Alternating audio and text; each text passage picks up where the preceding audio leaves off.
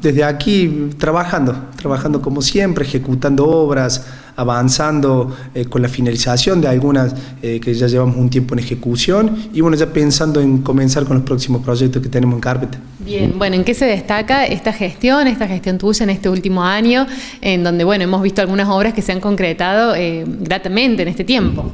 Venimos con un ritmo de obra estable.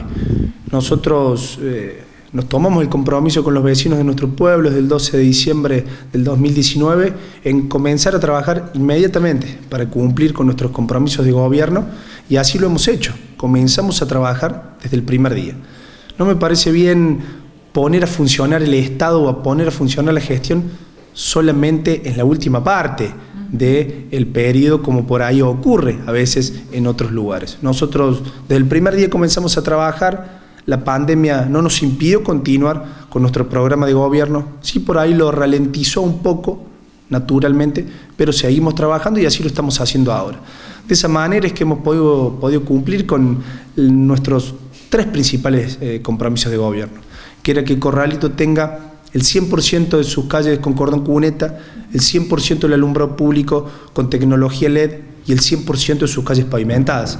Esta misma semana eh, hemos finalizado la última cuadra de asfalto que nos quedaba y Corralito tiene el 100% de sus calles asfaltadas. Así que nos pone muy contentos, realmente muy contentos haber cumplido con esos tres compromisos de gobierno tan pero tan importantes que coloca a Corralito dentro de una de las poquitas localidades de todo el territorio provincial que tiene resuelto estos tres eh, temas importantes que le mejoran la calidad de vida de la gente tener iluminación LED, tener el cordón cunete y tener el asfalto, le mejora la calidad de vida al vecino. Así que estamos muy contentos con eso y también de haber cumplido con los demás compromisos de gobierno eh, bueno, que nos fuimos planteando. Bien, el tema del espacio público es, es algo que se le da importancia en esta localidad. Vemos plazas, vemos lugares que se van inaugurando y que se van poniendo en funcionamiento también. Sí, por supuesto, los espacios públicos para nosotros son fundamentales porque constituyen los lugares de encuentro de los vecinos. Después de tanto tiempo difícil que hemos tenido que atravesar mediante la pandemia y demás,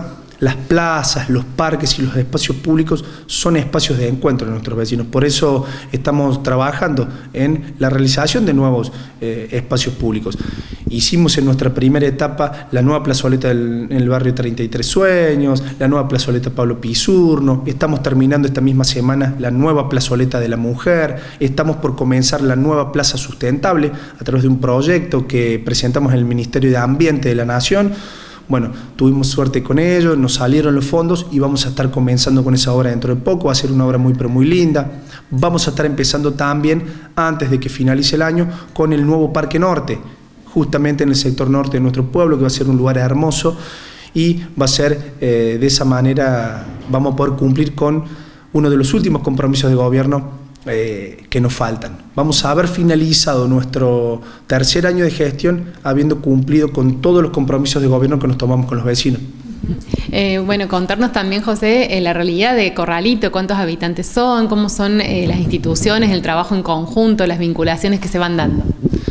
Mira, no tenemos aún el, resultado oficial del censo, por llamarlo de alguna manera. Corralito ronda los 2.000, 2.100 habitantes.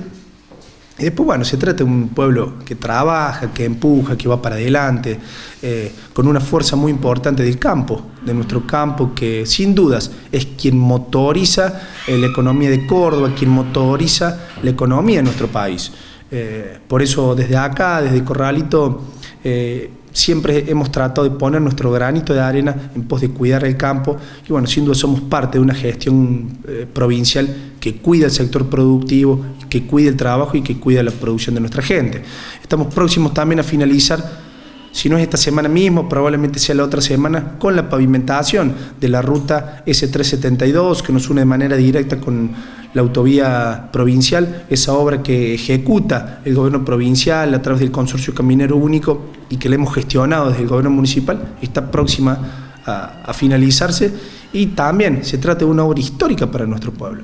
Corralito hace poco más de 10 años atrás no tenía ninguna ruta y hoy, después eh, de una década, podemos decir que Corralito está total y absolutamente conectado en el marco de la profunda crisis económica y social que vive nuestro país, que el gobierno provincial esté ejecutando esa obra, muestra a las claras de que Córdoba está fuerte y que tiene una gestión eh, consolidada. Y lo hacemos o se está ejecutando en el marco de un trabajo conjunto con, el sector agropecuario, porque esa obra se enmarca dentro del programa de mejoramiento de redes secundarias y terciarias que tiene la provincia donde la provincia ejecuta el 100% de la obra y después el productor agropecuario que está en la zona de influencia devuelve el 50% de esa obra mediante el sistema de contribución por mejoras en cinco cuotas anuales. Eso demuestra también la sinergia que hay entre el gobierno provincial y el sector productivo. Cuando los dos se combinan, el progreso termina siendo imparable. Y eso muestra también la confianza del sector productivo en el gobierno provincial porque para que podamos hacer esa obra tuvimos que salir a pedirle a los productores agropecuarios de la zona que nos firmen su aval para que esa obra sea ejecutada. Si no conseguíamos la mayoría de las firmas de los productores de la zona de influencia, no podíamos hacer la obra, porque la provincia nos decía que no podíamos ejecutar una obra si la gente no la quería. Entonces conseguimos la firma porque los productores confían en el gobierno provincial. Y un año y cinco meses después de haber comenzado la obra, ya está prácticamente finalizada. Eso demuestra también que lo que el gobierno provincial promete lo cumple.